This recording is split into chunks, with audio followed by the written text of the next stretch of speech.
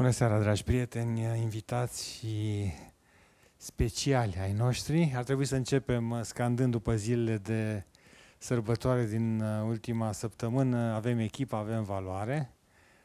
Ne-am calificat, da? Sperăm să ne calificăm și noi în uh, sufletele dumneavoastră în continuare, să fim în prima ligă. Având în vedere că la ora asta sunt tot așa cam șase evenimente, să nu le spunem concurente, pentru că ar însemna să ne jignim pe noi înșine. Ești concurent atunci când uh, ești în competiție cu adevărat, nu când cineva încearcă să te ajungă din urmă. În uh, contextul uh, așteptării sărbătorilor, în contextul postului Crăciunului,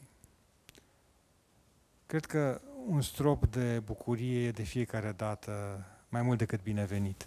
Așa că încercăm să vă luminăm mințile, sufletele, inimile, să vă dăruim un strop din uh, înțelepciunea lumii pe care o filtrăm fiecare dintre noi cum știe mai bine și să încercăm uh, niște soluții, niște soluții de mediere între dramă și cotidian, între tragedie și comedie, să știți că cel mai imposibil gen din istorie este tragicomedia. Iar noi românii suntem specialiști mondiali în asta, deci râsul, plânsul, nu, amarul vesel, bacoviana sinteză imposibilă, între plumb și lumină. Prin plumb nu trece nimic, așa că Bacovia știa el ce știa când l-a ales, nici măcar radiațiile nucleare. Bucuria, ca să începem de undeva, de la un gând, este orice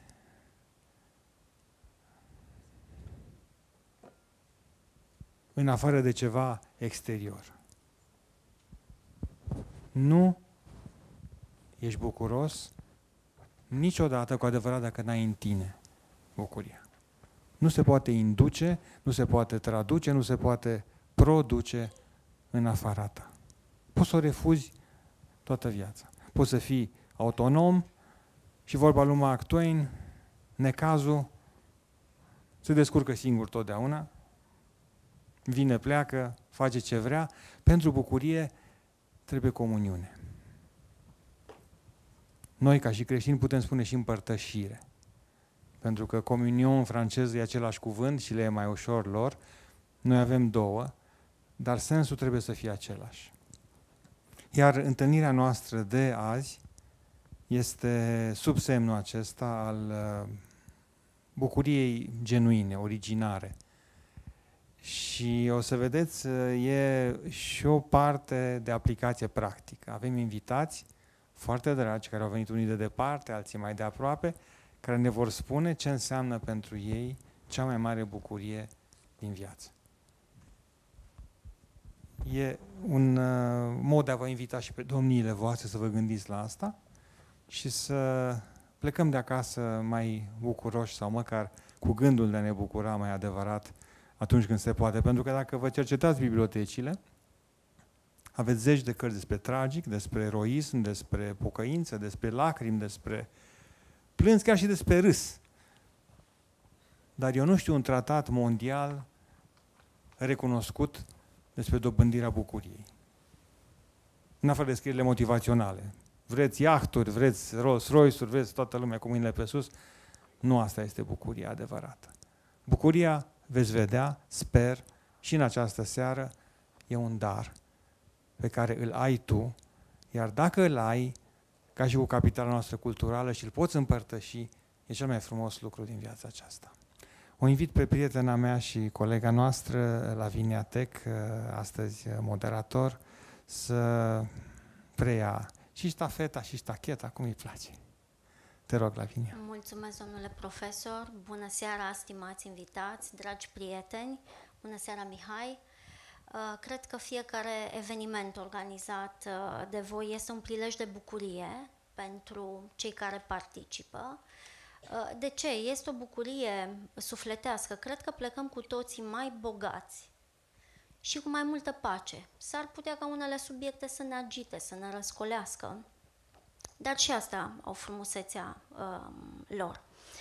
Uh, mi-ai ridicat un picuț mingea la fileu, la propriu și la figurat, apropo de calificarea echipei naționale. Am uh, ascultat un interviu, cred că era, nu mai știu cum îl chema pe jucător, capitan, era Burcă, Burcă, care spunea în felul următor, domnule, am avut victorie, dar noi nu ne-am bucurat. Nu știm să ne bucurăm. Și mi-am adus aminte câtă bucurie era când noi asistam la meciurile din diverse competiții, calificări europene, um, eu știu, uh, internaționale, campionat mondial de fotbal. Ce s-a întâmplat? Nu știu oamenii să se mai bucure? Um, atunci când uh, mi s-a propus să particip uh, la această întâlnire, ca un dascăl, mi-am fixat câteva elemente de structură. 1. Ce este bucuria? Și aș vrea să fie un dialog și să fie interacțiune. Ce este bucuria? Se poate confunda sau nu cu fericirea, cu plăcerea, există o distinție între ele. 2. Care sunt sursele bucuriei? 3. Cum se poate pierde sau dacă se poate pierde bucuria? 4. Este contagioasă bucuria uh, și asta are legătură cu efectele sau beneficiile mai degrabă, cred că așa ar fi corect să spun, beneficiile bucuriei. Prima întrebare la care am înce- aș încerca sau aș, și aș îndrăzni să uh, răspund, da, ce este bucuria, uh, deja uh, profesorul Arișan spunea că are legătură cu interiorul. Este o stare interioară. Vedeți, dumneavoastră, omul postmodern se preocupă prea puțin de interior. Uh, toate reclamele, toată publicitatea este uh, pentru a se promova uh, exteriorul. Asta înseamnă că uh, nu foarte lume, s-ar putea ca nu foarte multă lume să fie preocupată de un astfel de subiect uh, care merge în zona aceasta spirituală. Deci este o stare interioară, are de a face cu interiorul și nu cu exteriorul, spre deosebire de fericire, fericirea care are de a face cu circumstanțele exterioare. Sunt fericit pentru că beau o cafea bună, sunt fericit că e soare afară, s-ar putea să fiu uh, amărât, tare amărât dacă plouă sau bate vântul. Dar asta nu înseamnă că nu pot să fiu bucuros. Deci fericirea are de-a face cu lucrurile din exterior, pentru unii are de-a face foarte mult cu corpul, pentru alții cu lucrurile materiale, deci cu materia. Um, sursele fericirii, cred eu, Uh, și nu doar eu, au spus-o și uh, filozofi și uh, teologi, um, se găsesc în credință, artă, familie, natură, profesie. Și v-aș ruga să vă imaginați fiecare domeniile acestea pe care, pe care le-am enumerat. Um, vedeți, suferința este o condiție a umanității. Până la urmă, um, trebuie să-L credem pe cuvânt pe Domnul Isus Hristos, pe Mântuitor, care a spus că în lume veți avea necazuri. Toată viața Lui a arătat o viață de suferință. S-a întrupat pentru a suferi și pentru a demonstra omului că El este părtaș suferinței umane și că acolo când omul suferă, că este o suferință în trup, duh, minte, um, el este acolo, știe suferința. Și cred că nimeni, sau dacă este vreun om care n-a suferit vreodată, m-aș bucura să ridice mâna și să spună că n-a suferit. Um, Păi nu, pentru că cumva anticipam uh, uh, răspunsul. Și atunci, sursa principală a bucuriei, a stării acesteia interioare de care spunea și profesorul Arieșan, din punctul meu de vedere, este în primul și în primul rând credința, sau pentru mine este credința. Este temelia. Și o să revin la chestiunea asta legată de cum pierdem, sufer- uh, cum pierdem bucuria sau uh, cum se lovește suferința uh, de bucurie, cum se ciocnesc cele două. Familia, vedeți, credința, unii oameni au credință, sunt credincioși, alți oameni n-au credință, nu sunt credincioși. Dar am văzut oameni care nu sunt credincioși, sau în fine, sunt agnostici, sunt atei, cu toate astea unii dintre ei sunt, sunt prieteni și sunt foarte bucuroși, cel puțin așa arată în exterior, că sunt bucuroși. Alții uh, îi vezi mereu uh, nemulțumiți, uh, apăsați, uh, supărați. Um, poți să-ți dai seama că e o stare fie continuă, permanentă, opusă bucuriei, și aici este o discuție dacă bucuria este o emoție permanentă, o stare permanentă sau se pierde, fie este o stare trecătoare. Deci, din punctul meu de vedere, și o să argumentez un pic mai târziu, credința este sursa principală a uh, bucuriei uh, interioare. Al doilea resort sau a doua resursă este familia. Numai că ce o să spun acum poate nu o să vă placă sau o să vă atrag atenția. Familia este laboratorul unde suntem ciopliți și suferința este cumplită. Nu știu dacă v-ați rănit părinții sau părinții v-au rănit pe voi, dacă v-ați rănit copiii sau copiii v-ați rănit pe, v-au rănit pe voi, uh, frații, surorile și-au provocat sau își provoacă suferință. Și cu toate astea, vedeți, noi existăm pentru că suntem rezultatul, produsul unei familii. Ne-am născut într-o familie. Și dincolo de suferința aceasta care uh,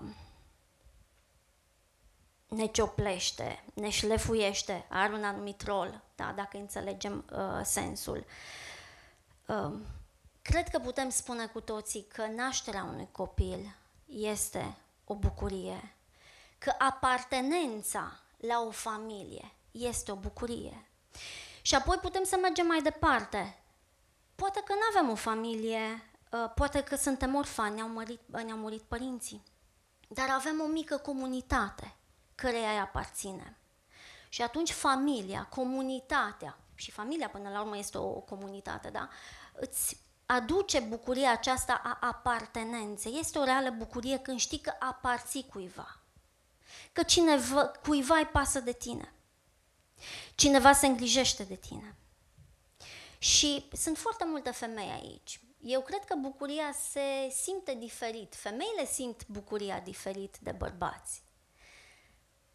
Am avut o bucurie imensă când uh, copilul s-a născut și a fost pus pe pieptul meu. Este o bucurie care nu poate să fie uh, nu, nu poate să fie exprimată, nu știu cum să o exprim în cuvinte, acea atingere. Acea atingere și um, faptul că vine o ființă pe lume și că maternitatea și filiația sunt uh, două, uh, două lucruri care îți uh, produc bucurie. Natura sau arta, să luăm arta. E N-am fost la, ex- la expoziția lui Brâncuș, dar mi-aduc aminte foarte bine când am fost la Paris, la Orsay, am fost fascinată de tablourile lui Botticelli. Nu mi-a plăcut nimic altceva, nu mi-a plăcut Gioconda de la Louvre, uh, mi-a plăcut, mi-au plăcut tablourile lui Botticelli. În momentul în care uh, te focalizezi pe tablou, pe mesajul pe care artistul a vrut să ți-l transmită, este o relație de intimitate și în ce mintea ta deja lucrează. Te poți bucura de ceea ce vezi în imagine, te poți pur și simplu artistul reușește să te introducă, sau tu dacă ai starea aceasta, da, guști, iubești arta, să te introducă în opera pe care a făcut-o el și este cumva o relație din aceasta de contopire. Și ieși din cotidian și intri în acel, uh, într-o altă dimensiune. Și este o bucurie pe care o simți uh, privirea, auzul atunci când vorbim de muzică. Sunt lucruri uh, care ne aduc încântare. Natura, cred că am experimentat cu toții și sunt oameni care spun, domnule, pe mine mă bucură stelele pe cerul senin. Să stau aruncat, nu știu, în, uh, um, pe iarbă, să stau întins pe iarbă și să uh, mă uit la stele, să mă uit la soare, să mă uit la uh, cerul senin sau la cerul înorat. Ei, iată, această relație de intimitate cu natura îți aduce bucurie. Până la urmă este vorba de cercul tău interior, ce se întâmplă acolo în interiorul tău. Și asta nu se poate produce decât dacă, într-adevăr, te interesează ce este în jurul tău, cine ești tu, ce-ți face ție plăcere, ce te bucură și ce-ți fură bucuria. Bucuria um, are de-a face cu mulțumirea și cu pacea.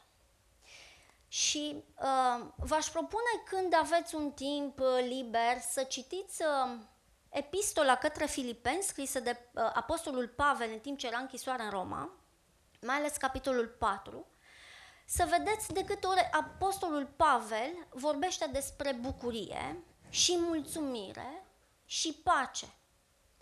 Deși el este închis, condițiile în care se află, condițiile de supraviețuire sunt um, um, uh, modeste, um, el este expus Uh, chiar prietenii săi îl critică din afară, îl atacă, una este critica, alta este atacul personal, să discreditezi pe cineva, da? Apoi, uh, chiar viața lui este, um, sau existența lui este incertă. Cu toate acestea, Apostolul Pavel nu vorbește despre ceea ce îi produce suferință, ci vorbește din mijlocul suferinței despre bucurie și spune bucurați-vă întotdeauna, bucurați-vă în Domnul. Și uh, există o legătură pe care o face. Mai întâi spune, bucurați-vă întotdeauna, bucurați-vă în Domnul.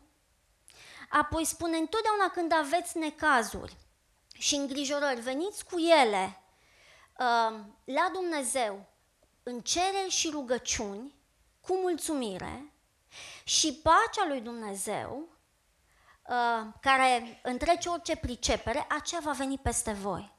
Deci bucurie, mulțumire, pace. Toate acestea sunt chestiuni sau aspecte care țin de uh, interiorul um, nostru. Bucuria uh, se cultivă, se cultivă din orice sursă, așadar, care provine din credință, din familie, din artă, din natură.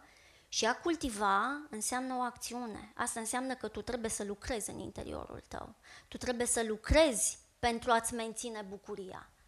Și uh, bucuria poate să fie furată, poate să fie pierdută dacă nu știm să o cultivăm și dacă nu veghem să o păzim, să o protejăm. Și care ar fi câteva, um, câteva uh, exemple um, sau um, situații în care putem vorbi de pierderea bucuriei? Sunt oameni care rămân agățați de eșecurile din trecut Mintea lor este încețoșată și nu pot să se bucure de viață. Sunt oameni care trăiesc cu regrete. Sunt oameni care se autoculpabilizează și înseamnă că nu știu să se ierte pe ei înșiși, nu știu să uh, ceară iertare. E o problemă poate pe uh, relația pe verticală și pe orizontală. Dacă ești credincios, să spui problema iertării, ca să nu te mai autoculpabilizezi, înaintea lui Dumnezeu și apoi a iertării în relațiile cu uh, cei de lângă tine. Sunt oameni care nu se pot bucura de teama eșecului în viitor, teama de viitor, anxietate. Deci, iată, sunt câteva motive uh, serioase la care vă provoc să reflectați, care pot să ne fure bucuria. Și acum dacă mergem mai departe ca să ne apropiem cumva de uh, un sfârșit, am văzut ce este, care sunt sursele, care sunt uh, uh, uh, câteva situații în care se poate pierde bucuria, care sunt beneficiile bucuriei. Bucuria este o resursă interioară care ne ajută să mergem mai departe. Știți, de fiecare dată când am o zi proastă seara, îmi fac un bilanț și îi mulțumesc lui Dumnezeu că încă exist și știu că ziua de mâine nu este a mea. Și îi mulțumesc lui Dumnezeu rugându-mă să-mi dea putere să merg mai departe, a doua zi să-mi continui drumul. Fiecare are un drum al lui, fiecare are obstacole pe drumul vieții, suferințe, cum spuneam, dureri, numai că atunci când ai această resursă interioară, bucuria, eu cred că te poți, tre- te poți ridica din pat a doua zi și poți să continui și să lași în urmă totuși acel trecut care te-a durut, care te-a epuizat, eu știu, diverse um, obstacole uh, care tind, te ispitesc să-ți pierzi uh, bucuria. Și apoi mai este un lucru. Când ești bucuros, când ai această stare interioară și ești atent să o cultivi mereu, în ciuda tuturor obstacolelor, um, relațiile tale sunt relații funcționale. Și apoi mai este altceva. Cu bucuria poți să-i contaminezi pe ceilalți. Și asta are de-a face cu sănătatea noastră. Sănătatea fizică, sănătatea uh, mentală, uh, sănătatea uh, emoțională. Citeam un lucru foarte interesant că un uh, motiv uh, solid de pierderea bucuriei și la care trebuie să avem grijă, poate să fie mândria. Sunteți de acord că mândria generează dușmănie în familie, în comunitate, la locul de muncă, între națiuni, între popoare, câte conflicte au pornit de la mândrie. Și putem să ne ducem chiar din Geneza până astăzi la um, această problemă a mândriei care odată ce generează dușmânia, duce la pierderea uh, bucuriei. Și acum vă propun, o să vă propun să vă gândiți la câteva exemple de bucurii. Uh, dacă vorbim că, uh, dacă considerăm, luăm în considerare sau pornim de la premisa asta că este o stare interioară, fundamentală pentru noi, da? din punct de vedere structural, care ne influențează viața, pentru că, atenție, bucuria, sau lipsa bucuriei ne influențează ă, nu doar din perspectiva cine, a cine suntem noi, identitatea noastră, ci și cum ne trăim viețile.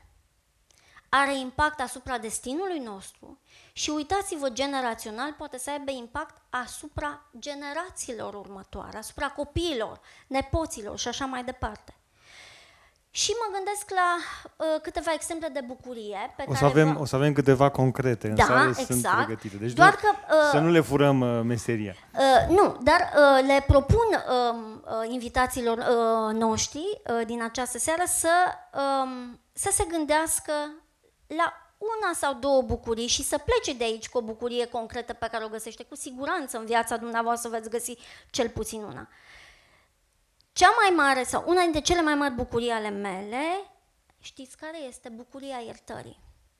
Iertarea pe care am primit-o din partea părinților într-un moment foarte critic al vieții mele.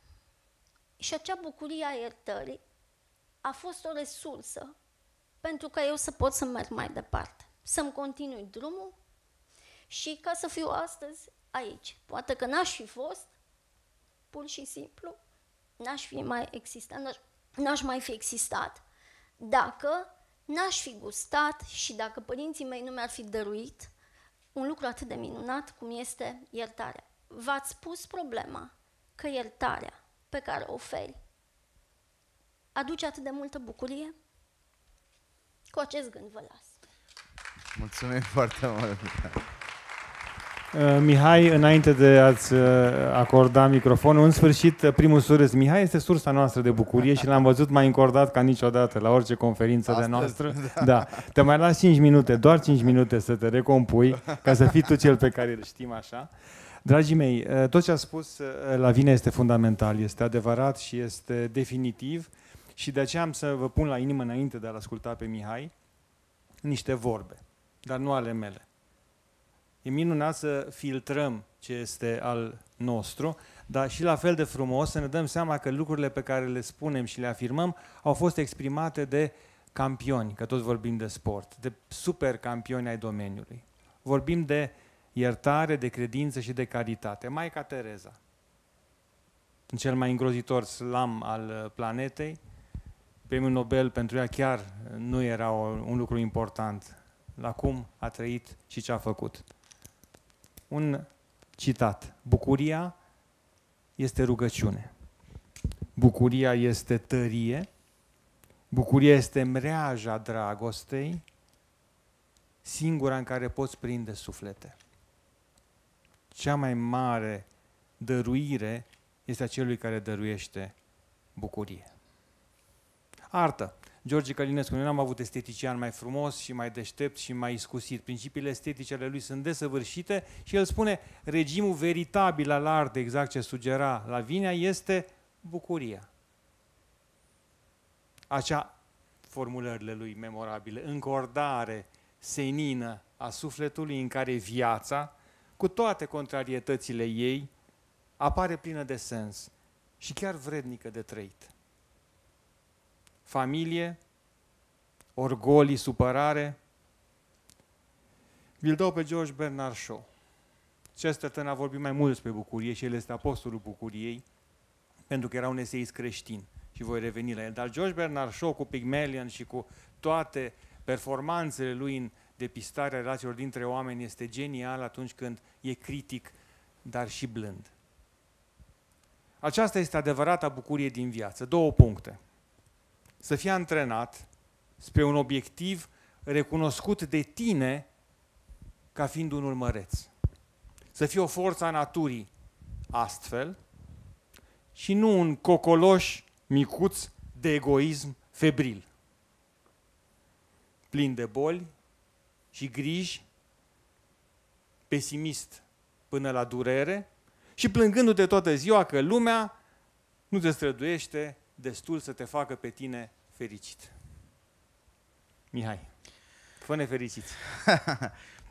grea, grea povară, vast program.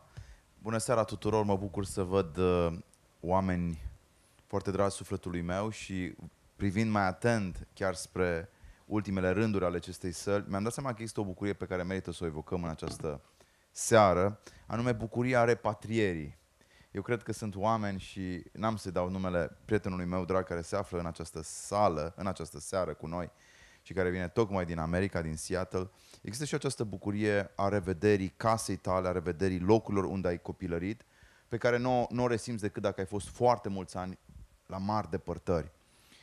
Într-o evocare emoționantă, la fel de emoționantă ca și intervenția ta, Lavinia, marele scritor deja pentru mine, Gabriel Purcăruș, un eseist excelent, scria în Corectopia și uh, într-un alt volum de asemenea uh, Țara cea mai bună din lume, câteva pagini memorabile despre ce înseamnă pentru cei aflați foarte departe și avem atâția români uh, la mari depărtări de noi, ce înseamnă să revii acasă. Această stare de plâns și de regăsire care este coincidentă, ca să spun așa, cu, cu bucuria regăsirii m-a însoțit și pe mine, țin minte, pentru prima oară după mulți ani când uh, am luat uh, avionul de la Londra și am, și am revenit acasă, m-a însoțit și pe mine în ultimele minute înainte de aterizare am avut această senzație puternică că aparțin acestui loc. Cred că regăsirea de sine este o componentă importantă uh, a bucuriei. Acum, ascultându-vă pe voi și dându-mi seama cât de vast este tabloul acesta pe care am încercat în această seară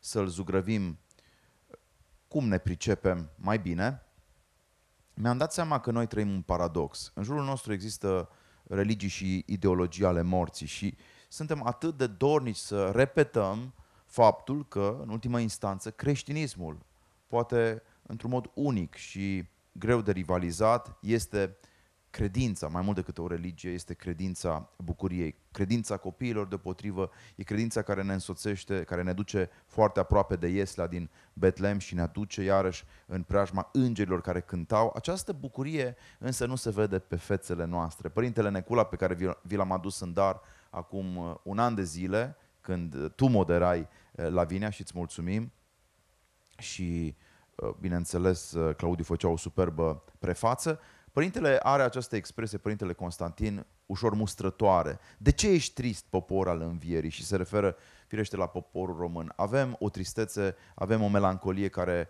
pare să fie o prelungire a unei stări de anxietate dobândită în perioada comunistă. E important să reflectăm la acest contrast între religia iubirii pe de-o parte și a fericirilor și a bucuriei și pe de altă parte ideologiile morții care au răvășit secolul 20. Spunând asta, mă gândesc de pildă la două lucruri. Unu, Ortodoxia, în mod particular Biserica Răsăriteană, ne invită la această experiență a rugăciunii continue, pentru că există acest mandat pentru orice creștin, rugați-vă pururea, și pe de altă parte, tot Ortodoxia spune, prin cuvintele lui Serafim de Sarov, bucuria mea. Întâmpinarea aceasta făcută oricărui om și călugării în mod special care aveau această experiență a rugăciunii neîncetate, erau în stare să vadă în aproapele lor bucuria uh, de zi cu zi, această stare de recunoaștere, spuneam, a chipului celuilalt într-o glorie, într-o slavă al minter pierdută în lume, această stare este o stare spirituală extrem de rar întâlnită.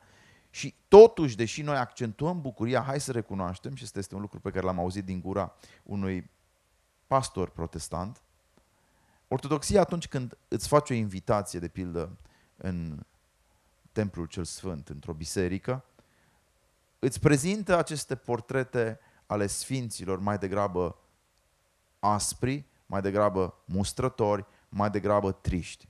Și foarte des m-am întrebat de ce. De ce totuși o religie a bucuriei te invită totuși înainte de toate să descoperi pocăința, plânsul, lacrimile și această călătorie despre care vorbeai foarte frumos, uh, Lavinia, către omul lăuntric. Există oare posibilitatea pentru noi de a redescoperi bucuria plânsului? Este doar un oximoron sau chiar e o experiență care ne este dată? Aș vrea să medităm în această seară la posibilitatea de a ajunge către rădăcina adâncă a bucuriei doar printr-un efort de încordare spirituală, doar printr-o asumare a crucii, doar printr-o asumare inclusiv a limitelor noastre. Un om care a trăit în Timișoara și care mi-a fost foarte drag și care a fost un călugăr al bucuriei, Părintele Teofil Pâreanu, pe care l-am întâlnit la 15 ani, ă, și care, gândiți-vă că era nevăzător și care tot timpul răspundea în jurul său această stare de euforie, acest om mi-a povestit cum 20 de minute în fiecare zi, luând tramvaiul aici, în Timișoara, când era la liceu, aici în Timișoara, acum aproape 80 de ani, a descoperit bucuria rugăciunii și spunea că la un moment dat, repetând această formulă, Doamne Iisuse Hristoase, Fiul lui Dumnezeu, miluiește-mă, de zeci și zeci și sute de ori, a simțit la un moment dat în inimă un, un zbucium pe de-o parte, dar și mai degrabă altceva, un fel de șuvoi de dragoste și de, și de iubire care îl topea, care îl pur și simplu, uh, care pur și simplu îl copleșea. Și mă gândesc că aceste experiențe spirituale care ne sunt la îndemână, aceste experiențe astăzi pe noi ne lasă pur și simplu rece. De ce? Fiindcă am pășit ca societate într-o, într-o lume a abundenței, fiindcă suntem mai degrabă dornici să acumulăm. Pentru că suntem tributari acestei doctrine a lui Democrit care spune că totul se reduce la materie și materia însăși e de fapt o colecție de atomi și de obiecte. Până la urmă, trebuie să ne întrebăm dacă pentru asta cu adevărat nu s-a murit la Revoluție, dacă doar pentru acest exercițiu de acumulare și de ă, îmbogățire în planul exterior suntem chemați să trăim puținii ani pe care îi avem de trăit în ă, viețile noastre. Există deci ă, această presiune, spuneam, a consumerismului care cred că elimină de multe ori bucuriile simple. Și unde sunt bucuriile simple? Acolo unde sugera și Lavinia. În experiența detașării, în lectură. Eu sunt bucuros atunci când am câteva ceasuri netulburate de telefoane mobile sau de, eu știu, grijile zilei, ceasuri în compania minților strălucite, ceasuri în compania unor maestri spirituali. Aceste ceasuri sunt foarte valoroase, mai ales diminețile mi se pare extrem de importante și pe acelea nu avem voie să, lăsăm, să le lăsăm tulburate. Unde mai găsim bucuria? Sigur că putem să găsim bucuria oricând în, în Eine kleine Nachtmusik, v-am întâmpinat cu Mozart și marele teolog uh, protestant Karl Barth spunea, fără să greșească, că nu întâmplător atunci când uh, îngerii sunt doar cu ei, cântă Mozart și când apare Dumnezeu cântă Bach, îl găsești, îl găsești pe Dumnezeu poate și în, uh, și în operele lui Vivaldi și dincolo de acești clasici ai muzicii ai muzicii europene, care reprezintă de altfel un dar al culturii, uh, al culturii unice creștine, mă refer acum la muzica clasică, găsim iarăși prilejul unei bucurii speciale când întâlnim niște personaje din marea literatură. Și ceea ce m-a frapat, și cu asta o să închei prima mea intervenție, recitind, după cum vă dați seama, n-am cum să locolesc pe Dostoevski în această seară, frații Karamazov pentru dumneavoastră, e faptul că în uh, analiza, în analiza lui Dostoevski, omul complicat, personajul taciturn și saturnian, Ivan Karamazov, intelectualul cu alte cuvinte, el este vinovat de tristețe. El cade cel mai des în melancolie și în păcatul deznădejdii. El la un moment dat își pierde mințile și se întâlnește cu diavolul și vom vedea ce îi spune diavolul, în timp ce Alioșa, omul simplu, pescarul de oameni, cel care are doar 18 ani și care nu a cunoscut plăcerea și nici păcatul, acela este agentul bucuriei autentice într-o familie destrămată. Amintiți cu toții, tatăl era un bețiv, un clov, un desfrânat. Și el avea trei fii, nu?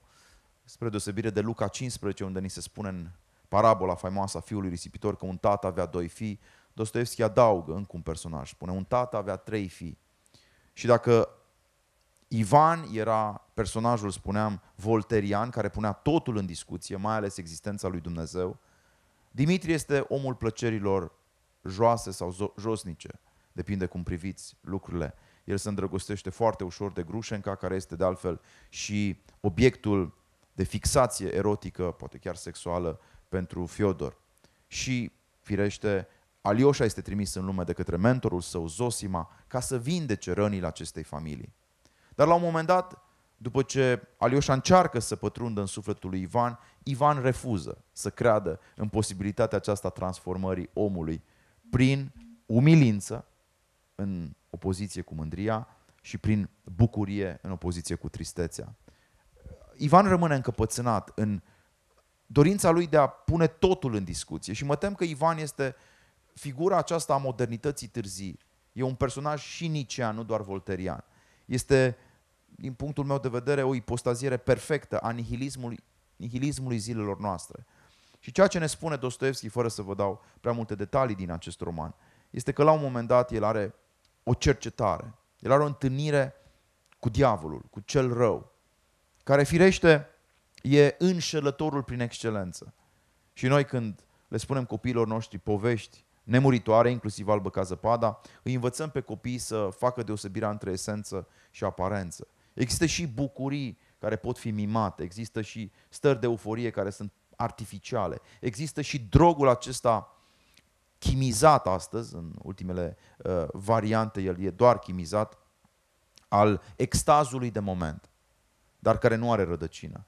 Și de acest drog ar trebui să ne, să ne ferim, firește, însă, spuneam, la întâlnirea sa cu diavolul, Ivan are un dialog absolut memorabil. Și permiteți-mi câteva fragmente foarte scurte, să dau citire în această seară unui singur, de fapt, fragment din această conversație a lui Ivan, filozoful, ideologul, intelectualul modern, cel dubitativ și dilematic deopotrivă, Ivan, spuneam, da, primește acest mesaj din partea diavolului. Proștii, de ce nu m-au întrebat pe mine, oamenii zilelor noastre, spune diavolul în discuția cu Ivan. Pe mine. Cel care le-ar fi putut explica că nu e nevoie să distrugă nimic. Singurul lucru, spune diavolul, care ar trebui stârpit este ideea că există Dumnezeu. Dialogul a fost scris în 1881, cu câțiva ani înainte de Revoluția Bolșevică. Paranteza pe care o fac rapid este următoarea. Priviți spre figurile revoluționarilor de secol 20. Priviți spre încrâncenații tirani ai veacului trecut. Priviți spre aceste portrete care nu pot schița niciun zâmbet. Priviți spre acești oameni care se iau foarte în serios. De la Vladimir Ilich Lenin până la Kim Jong-un. Acest trist dictator al Coreei de Nord, care niciodată n-a fost surprins cu adevărat fericit. Cel care la 10 ani a trebuit să aibă gărzi de, sigur, corp care supravegheau tot ce făcea el în Elveția și care apoi a fost trimis în Corea de Nord de către tatăl său criminal ca să permanentizeze acest regim de teroare absolută. Acești oameni, spuneam, ai secolului 20 au fost anticipați într-un fel de Dostoevski, atât în romanul Demonii, cât și în acest monolog sau dialog, dacă vreți, al uh, diavolului cu Ivan. Permiteți-mi să continui. Tot ceea ce trebuia stârpit și trebuie stârpit, spune diavolul, este ideea că există Dumnezeu. Acesta se cade să fie punctul de plecare. Ivan este ideologul modernității târzii care spune premisa absolută cu care trebuie să operăm de acum înainte. Dacă vrem să fim emancipați, dacă vrem să trăim progresul, dacă vrem să fim cu adevărat educați în spiritul nou al veacului și nu al împărăției lui Dumnezeu, este negarea absolută a existenței sale, a Creatorului. Cu aceasta trebuie să începeți, orbeților. Vă spun eu, fiindcă nu sunteți în stare să pricepeți nimic, diavolul către oameni.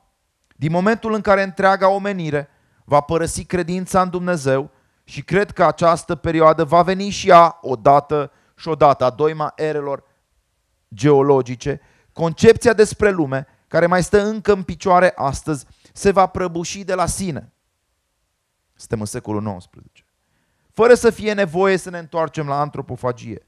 Și tot așa, noțiunile etice actuale vor dispărea la rândul lor și va începe o nouă epocă.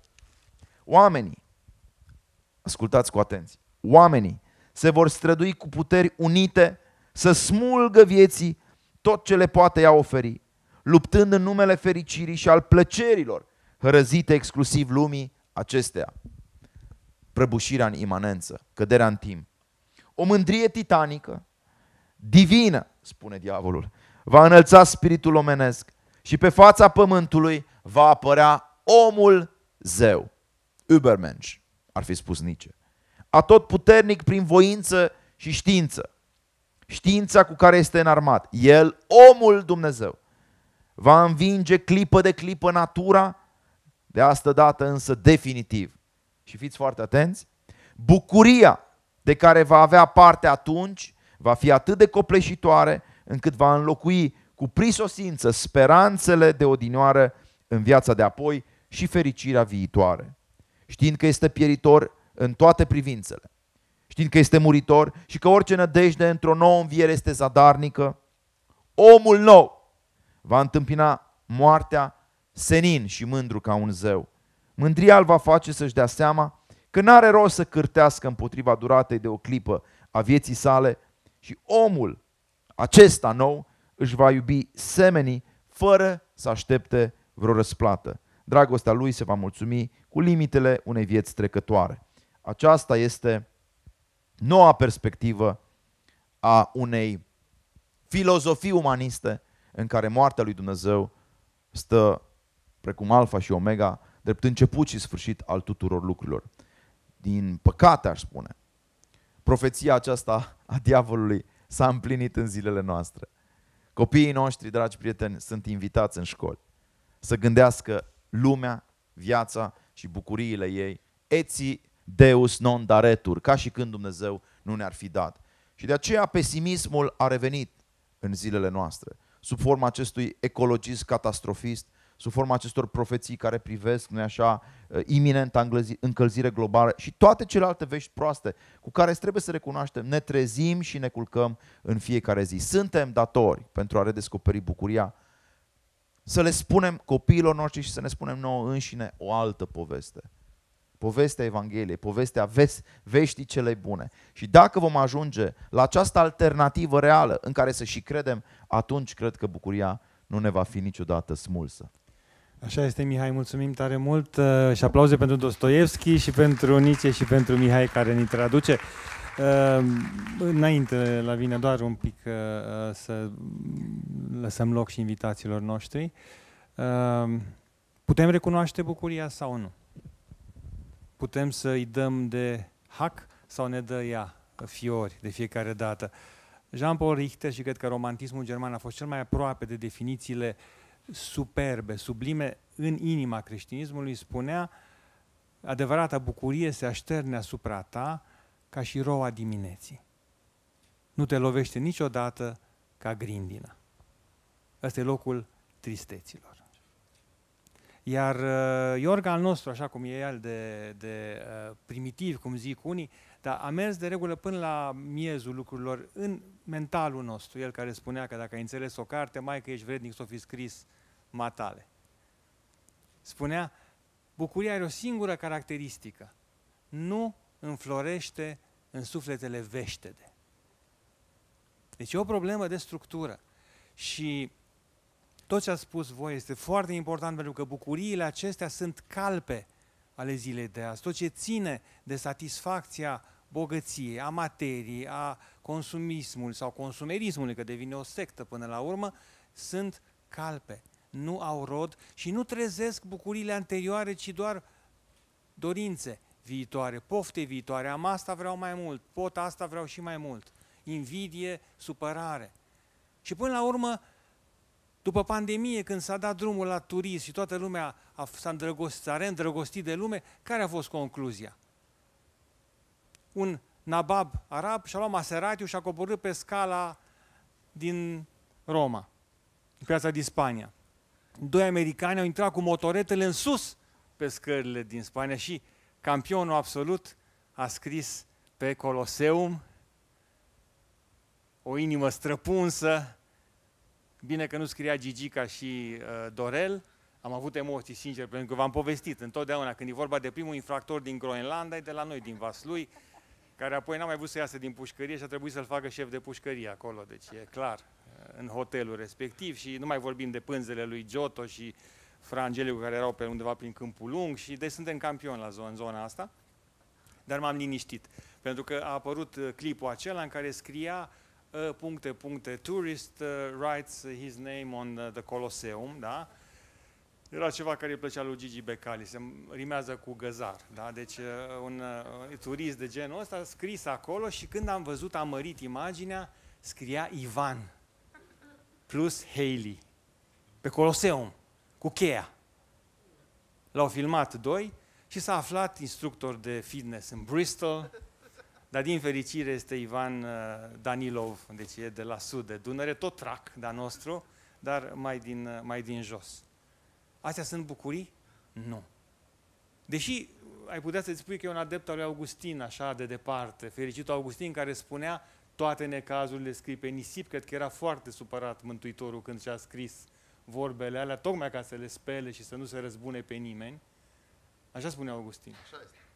Dar bucuriile să le scrii pe stâncă. Nu pe Coloseum, da, dar pe stâncă. Da? Pe stâncă e bine să o facem. Și am aici un exemplu care a venit din Craiova și după aia o să o lăsăm pe Lavi să, să conchidă. Un exemplu care a venit din cel mai frumos peisaj posibil al lumii, acela al lucrului cu copiii. Beniamin Claudiu Sisu este pastor și este responsabilul lucrului cu tinerii din toată Oltenia. Da, din fericire e și în țară deja cunoscut, am vrut să vi-l prezint și am vrut să vedeți cum rămân încrâncenați de afecțiune pentru el copiii când este alături de, de ei. Beni, dacă vrei să stai jos, dacă vrei să stai în picioare, în primul rând îți mulțumim enorm pentru gestul tău de a ne fi alături și te ascultăm. Spune de ce bucuria cea mai mare pentru noi este lucru cu copiii. Mulțumesc frumos pentru invitație, doamnelor și domnilor, stimați invitați. Mulțumesc, Mihai, pentru că mi-ai lăsat locul. Este o onoare pentru mine să fiu în fața dumneavoastră și să discutăm despre un subiect atât de important cum este acesta al Marii Bucuriei. Pentru că eu cred că fiecare muritor de rând este un uh, Indiana Jones al fericirii. Suntem într-o căutare permanentă după un loc, după o, o idee, după uh, ceva pe care nu știm să-l definim 100%, dar care simțim fiecare dintre noi că trebuie să-l găsim undeva în lumea aceasta și să-l punem ca o piesă lipsă dintr-un puzzle în inima și în sufletul nostru. Uh, Constituția Statelor Unite ale Americii garantează trei drepturi fundamentale ființelor umane. Dreptul la viață, dreptul la libertate și dreptul la căutarea fericirii. Nu-ți garantează nimeni fericirea, dar măcar să ai dreptul acesta să o cauți. Personal consider că nu am, nu am pretenția de a aduce ceva nou în seara aceasta în discuție, dar sper ca experiența mea de viață, pentru că, la fel ca și dumneavoastră, și eu sunt un căutor, căutător al fericirii, să fie inspiratoare pentru mulți dintre noi.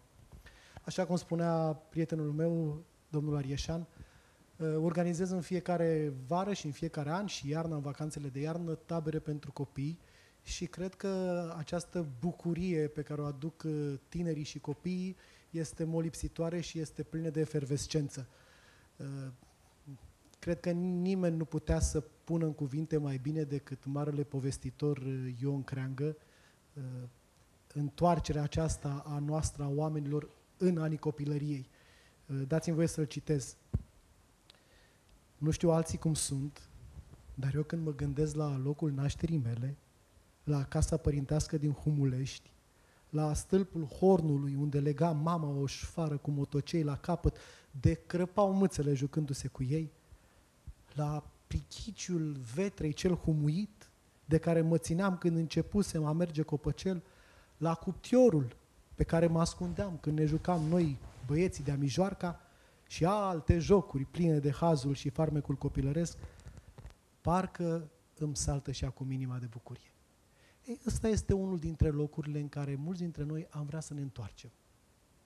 În anii copilăriei.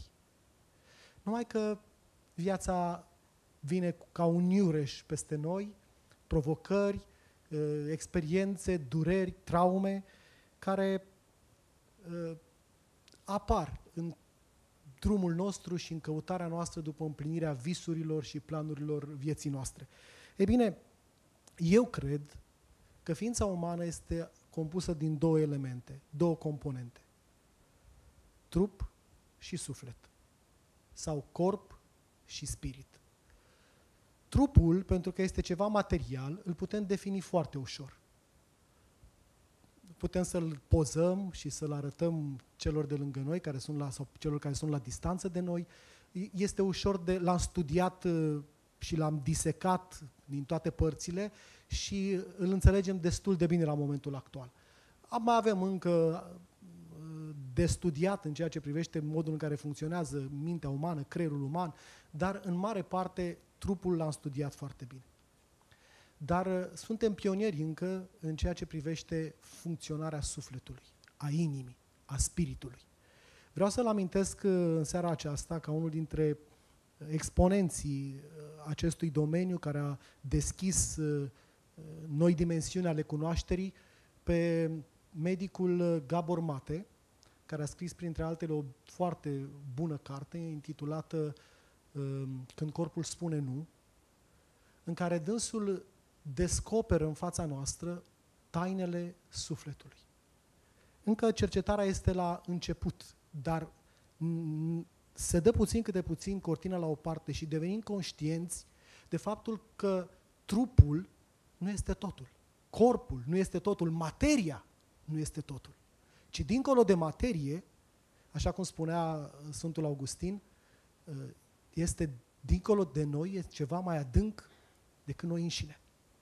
Sunt devenim conștienți de, de această realitate. Ei bine, îmi aduc aminte, vorbind despre materialism, că uh, eu consider că două mari două mari uh, iluzii ale omenirii de astăzi, ale lumii de astăzi, în ceea ce privește fericirea și bucuria, sunt materialismul și hedonismul și plăcerea sau distracția. Eu mi-aduc aminte de ceea ce spunea bunicul meu, cum, cum îmi povestea uh, copilăria sa. Șapte frați, într-o casă micuță de la țară, cu ferestre mici, de de-abia intrau razele soarelui ziua în amiaza mare, vara prin ele, dacă scădea prin ferestrele acelea micuțe, dacă scădea o monedă jos, nu puteai să o găsești decât dacă aprindai o, o lumânare sau un opaiț. Uh, pe jos nu aveau nici de cum uh, uh, parchet sau dușumea, aveau pământ. Și în patru, într-un colț al camerei erau bătuți patru pari în pământ, o, o saltea dormeo, nu, o saltea de paie, da, cu o pernă tot de paie, care era pusă acolo la căpătâi, o sobă oarbă cu o plită pe care găteau vara, iarna, dar și vara de multe ori, și acolo se înghesuiau toți. Mâncau de obicei mămăligă. Mămăligă cu magiuni, cu usturoi, cu praz, cu zeamă de varză, o mâncare foarte, foarte simplă, dar foarte sănătoasă. Ceea ce m-a, uh, m-a frapat la povestea lor de viață, pentru că una dintre surorile lui a trăit peste 80 de ani și în ultimii ani a fost oarbă, a fost faptul că niciunul dintre ei, dintre cei șapte frați, nu și-a pierdut mințile până la momentul morții. Toți au rămas întregi la minte. Nici nu știau ce e aia depresie sau anxietate sau tulburări de personalitate. Și când am auzit uh, acum câțiva ani, prin 2016, că anul 2020, potrivit uh, preconizărilor Organizației Mondiale a Sănătății, va fi anul cu cele mai multe boli mentale, am spus, nu se poate așa ceva.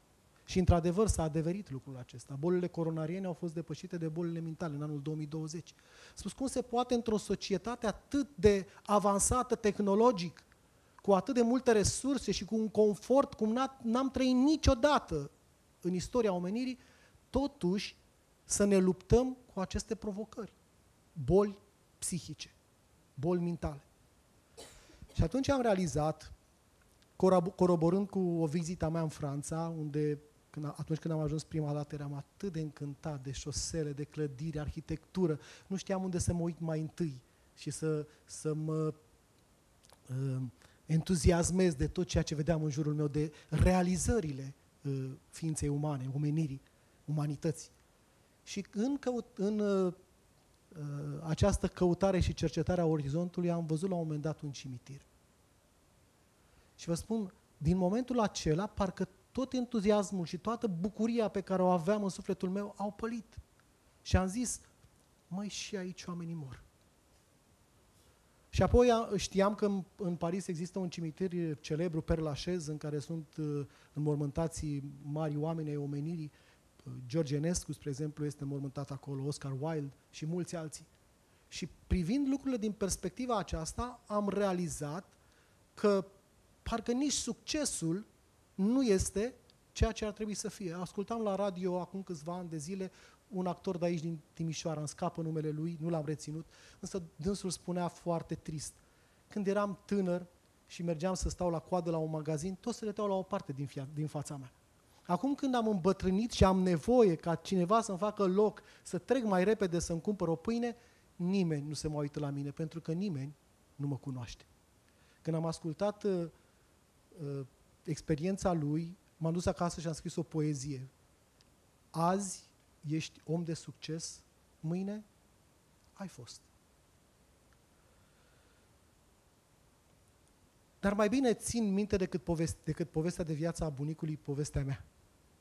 Cum împărțea tata portocala la Crăciun sau la sărbători, lua el o feliuță, mama o feliuță și eu și sora mea luam restul portocalei. Poate că pentru mulți dintre dumneavoastră este familiară imaginea aceasta, sau cum împărțeam guma de mestecat și de multe ori, nu mi-e genă să vă spun, uh, o mai dăteam și de la unul la altul, pentru că se găseau foarte greu.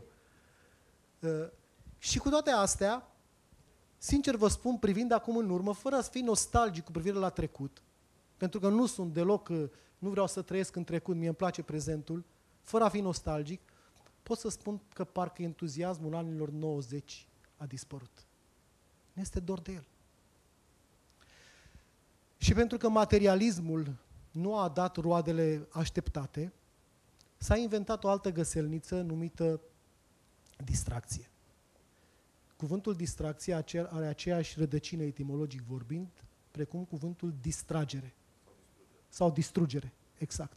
Pentru că te distrage de la adevăratele probleme ale vieții. Chiar astăzi, înainte să vin aici, am vorbit cu o tânără care era într-un impas al vieții ei și uh, spunea, mă duc, mă duc acasă să, să beau ceva, mă duc să fumez, să, să uit de ceea ce mi s-a întâmplat. Și am spus, nu dai seama că tu ți înveți creierul să fie leneș. Tu ți înveți creierul să nu înfrunte problemele cu adevărat. Și mulți tineri, din păcate, trec prin acest, această uh, experiență nefastă. Mi-aduc aminte, uh, vorbeam în fața unui, unei clase la o școală din Craiova, la un liceu din Craiova, și le-am spus uh, tinerilor ceea ce spune Dan Puric. Ia-ți timp din când în când să stai de vorbă cu tine însuți. Pentru că dacă nu-ți place să stai de vorbă cu tine însuți, înseamnă că ești într-o companie proastă.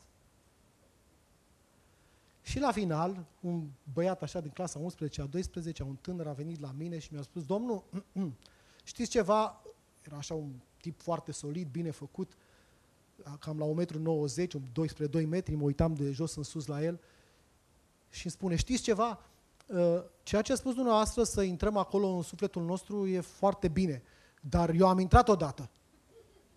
Și cum a fost? Întuneric, beznă, m-am speriat. M-a frapat, să știi, și m-a, m-a luat prin surprindere sinceritatea lui debordantă și pentru un moment la, doar l-am ascultat și am tăcut și apoi i-am pus o întrebare. Ți-a făcut bine?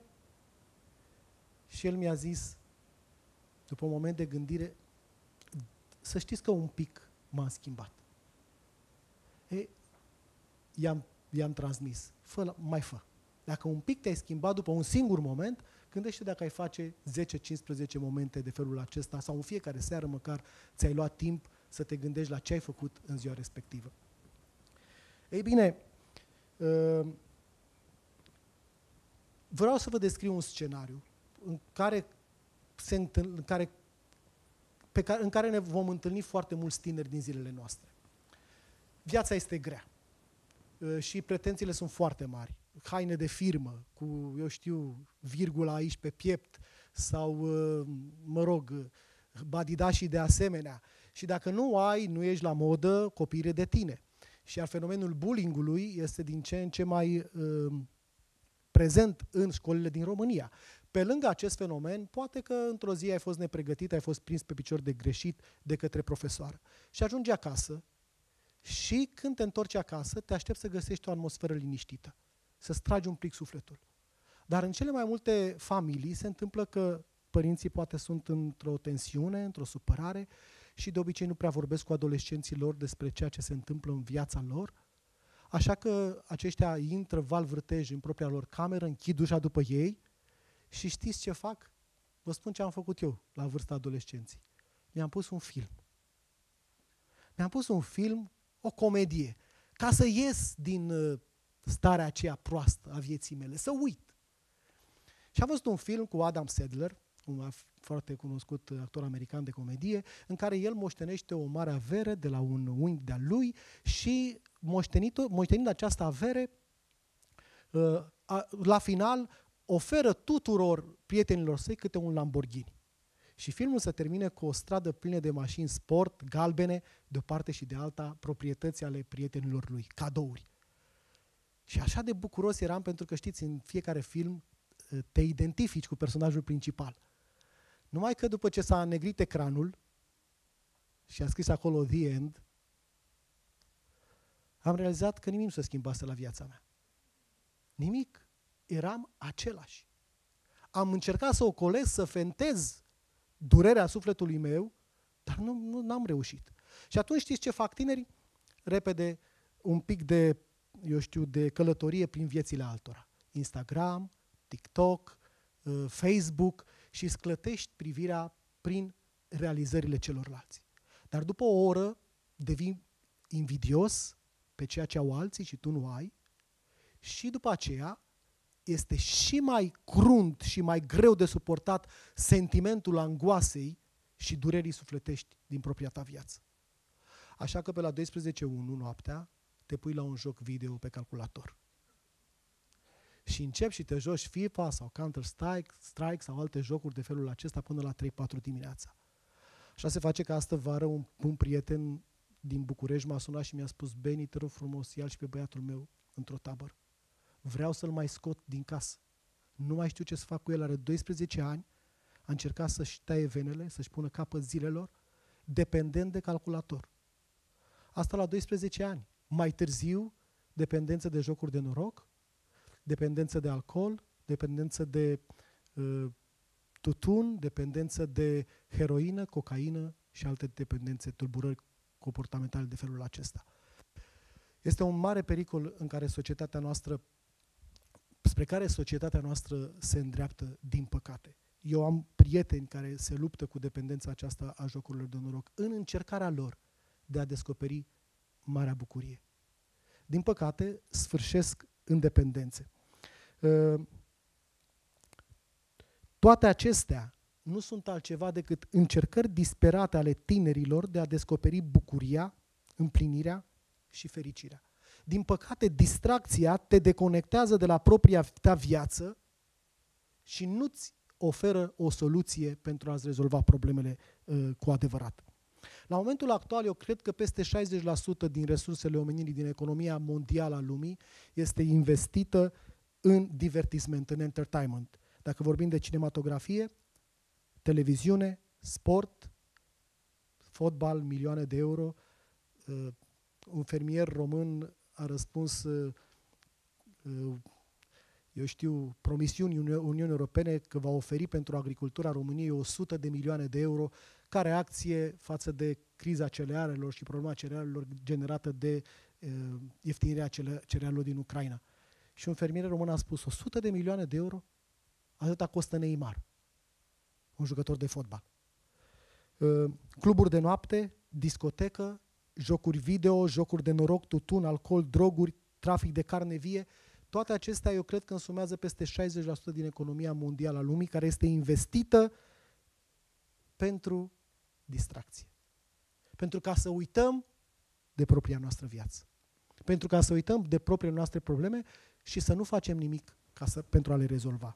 E bine, eu cred, așa cum spunea Jim Carrey, sper ca toată lumea să ajungă să fie bogată și celebră și să aibă tot ce își dorește pentru a afla că nu acestea sunt răspunsurile.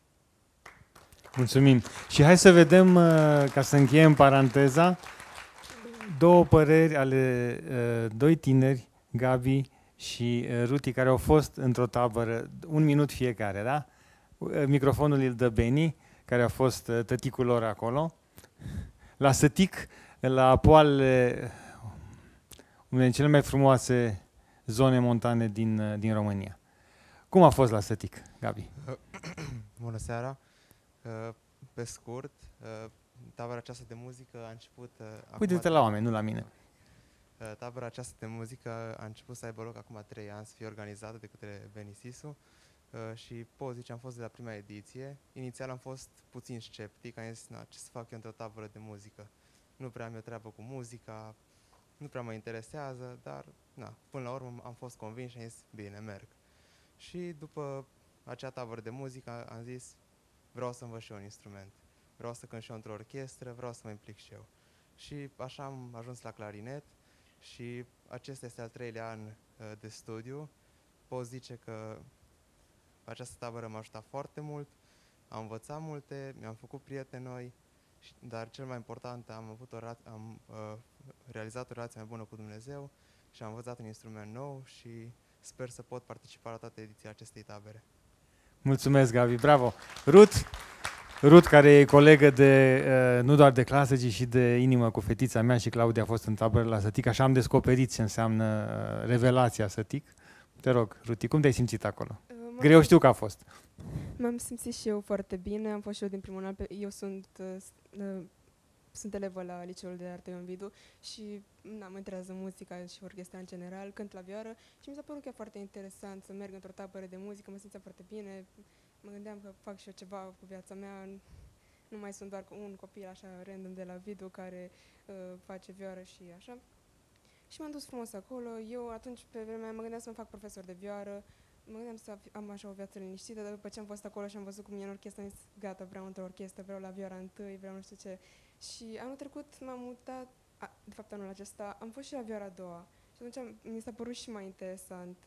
E, Și mi-am dat seama că nu trebuie să fie neapărat uh, la vioara întâi, că vioara întâi, așa este părerea tuturor, că vioara întâi este cea mai specială, acolo ești cel mai bun, acolo te simți cel mai bine. Dar m-am simțit mult mai bine la vioara a doua, am simțit mai confortabil, mi s-a părut un colectiv mai frumos și mi-a schimbat foarte mult părerea despre oameni, despre cum merge viața și așa mai departe și chiar mi-a schimbat uh, calea în care vreau să merg.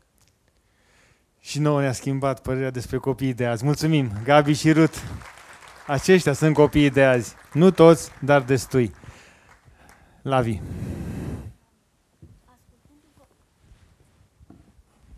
Ascultându-vă, mă gândeam că prezența sau absența bucuriei are legătură cu răspunsul nostru la durere și suferință. Este o realitate că în Statele Unite rata de suicid a adolescenților a, și nu doar a adolescenților, a adulților, a atins cote alarmante. Este o realitate că românii suferă din ce în ce mai mult de depresie.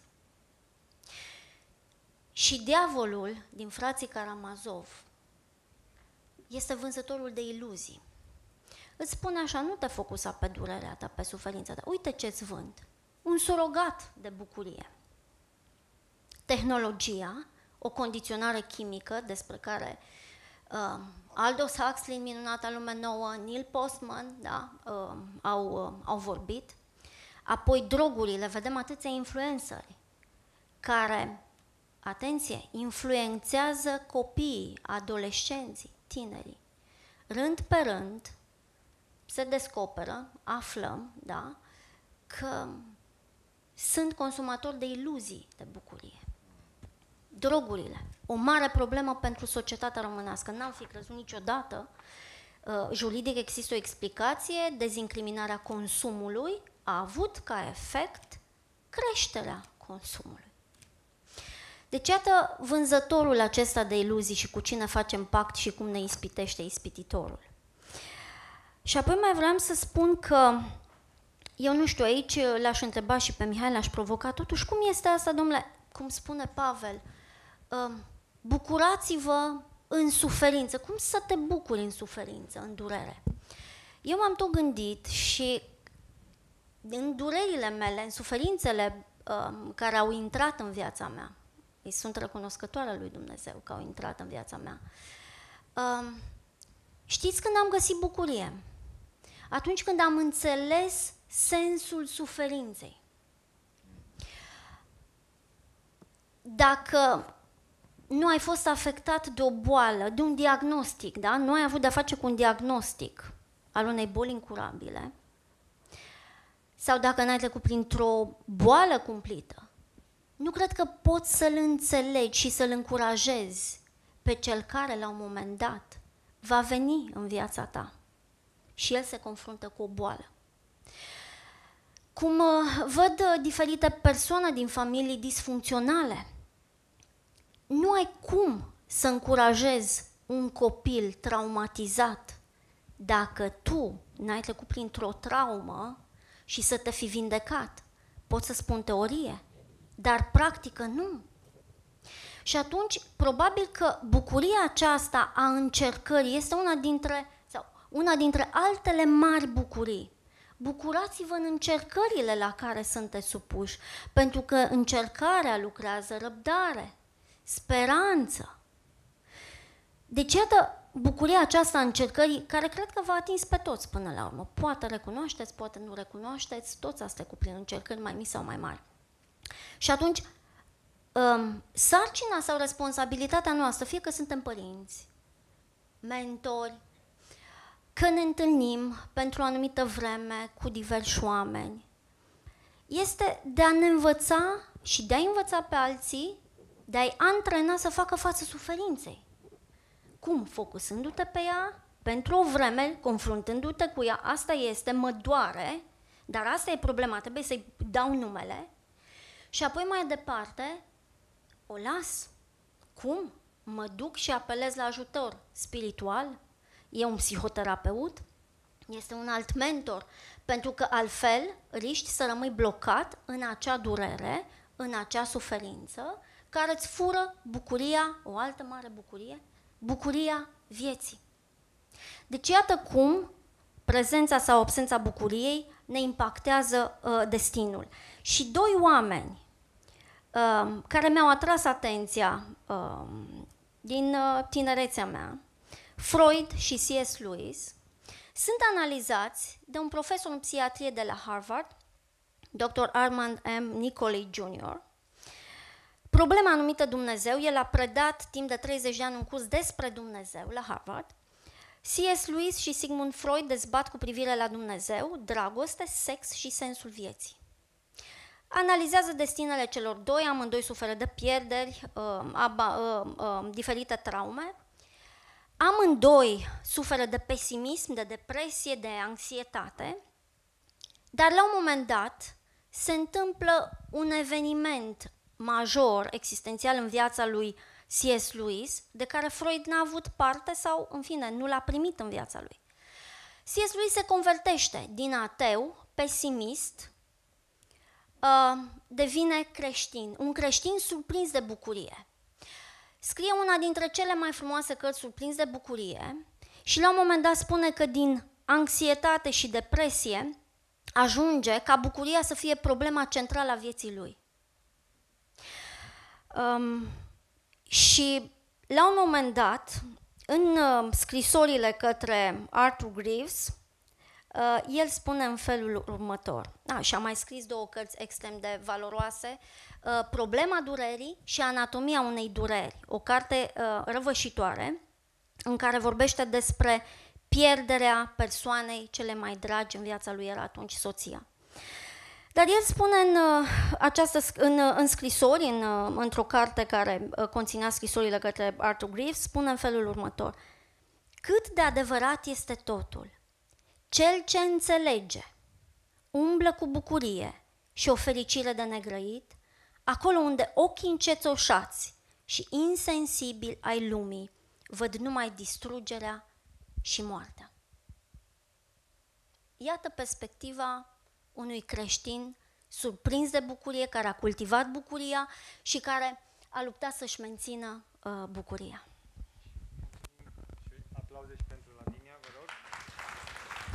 ca să ne bucurăm cu toții de seara aceasta, o frază foarte puternică a lui uh, Rumi uh, spunea, până la urmă suferința din viața noastră este făcută să curețe spațiu să golească frunzele uscate, să elimine mobilierul vechi, ca să aibă loc bucuria să intre acolo.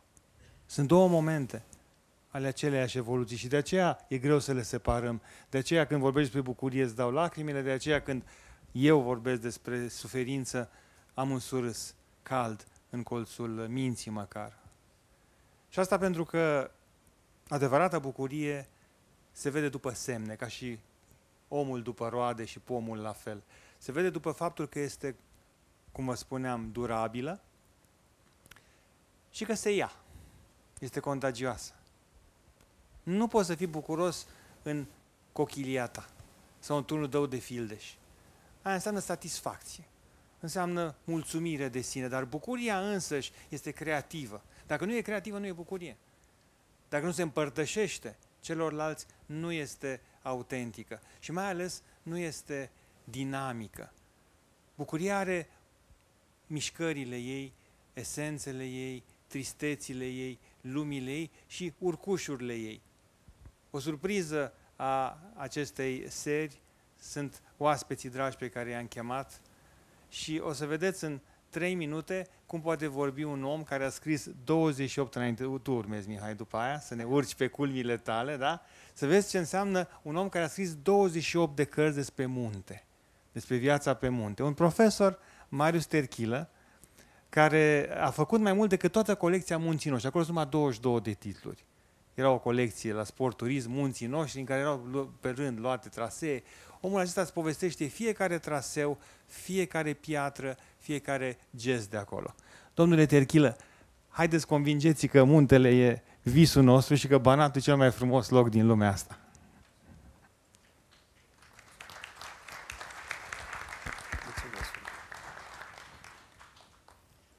aș vrea să încep cu o observație.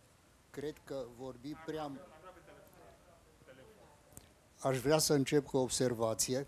Cred că vorbim prea mult despre droguri, subiect care devine traumatizant și societatea face prea puțin pentru a combate acest flagel. Doamna profesor s-a referit la gama largă a domeniilor în care se manifestă sau se poate manifesta iubirea. În, în literatură, în artă, în uh, sânul naturii, în uh, sentimentele pe care le trăim. Părintele de la Craiova, îi mulțumesc că a amintit aici întâlnirea cu marii clasici l-a citat pe Ion Creangă, care face parte din marii noștri clasici. Tudor Vianu trăia o bucurie imensă când își amintea poezia lui Mihai Eminescu, Odă în metru antic. Își ridica pălăria și recita în fața studenților. Nu credeam să învăț a muri vreodată, pururi tânăr înfășurat în mantami. Ochii mei ridicam la steaua singurătății. Și strofa următoare, în legătură cu ceea ce spunea doamna profesor, iubirea se înfrățește cu suferința. Când deodată tu răsăriși în calemi, suferință tu dureros de dulce, până în fund băui voluptatea morții neîndurătoare. Dar aș vrea să adaug aici o trăsătură a iubirii menționată de de Constantin Noica. Constantin Noica atrage atenția asupra bucuriei care stă. Are cartea sa intitulată Matezis sau Bucuriile Simple și aici se referă la falsele bucurii care nu sunt adevăratele căi ale vieții. Vorbește despre pofta care cere și se satisface, despre senzația care începe și obosește dar nu acestea sunt adevăratele căi ale vieții, ci, spune Constantin Oica, este bucuria care stă, este ideea care nu obosește, este eternitatea naturii. Și aici am venit la subiectul care l-a menționat domnul profesor și îi mulțumesc. Uh, eu uh, scriu uh, o carte de turism și anume o colecție pe poteș de munte, rezultat al drumețiilor mele și aș vrea să observ tot în legătură cu ce spuneați dumneavoastră, că suferințele se scriu pe nisip și bucuriile se scriu pe stâncă. Urcăm în împărăția munților, suntem alături unul de altul, ne sprijinim unul pe altul și atingem obiectivul pe care l-am dorit. În împărăția munților cultivăm virtuțile sufletești, credința, libertatea, iubirea, curajul, îndrăzneala. Ați făcut referiri la, la cărțile sfinte. Iisus Hristos îndemna mereu, îndrăznește, nu te teme. Nur ein Gebot gilt dir, sei rein, Nietzsche numai o poruncă pentru tine, rămâi pur.